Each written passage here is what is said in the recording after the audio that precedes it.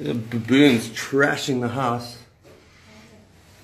Inside, outside, fucking everywhere. And I'm trapped between them. This thing is huge.